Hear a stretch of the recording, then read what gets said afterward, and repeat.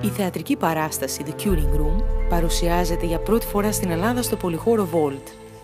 Είναι βασισμένη σε αληθινά γεγονότα και αυστηρό ακατάλληλη. Μια τηλεοπτική περιήγηση στο αντιπολεμικό κοινωνικό δράμα του David Ian Lee σε σκηνοθεσία Δημήτρη Καρατζιά. Πέμπτη βράδυ στο Attica TV.